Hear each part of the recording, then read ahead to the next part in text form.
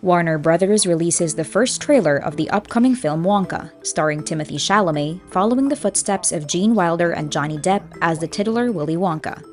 Timothy plays a younger version of the famed candy maker, discovering cocoa beans, befriending a young orphan girl, and dreaming of having his own chocolate store. The film is a prequel to the 1971 movie Willy Wonka and the Chocolate Factory, starring Gene as Wonka, and an adaptation of Roald Dahl's beloved 1964 book Charlie and the Chocolate Factory. The new movie sees Wonka arriving in a fictional European city, which is home to master chocolatiers. The trailer also shows Timothy's co stars Olivia Colman, Sally Hawkins, Rowan Atkinson, and Hugh Grant as an Oompa Loompa. The film will be released in December 2023.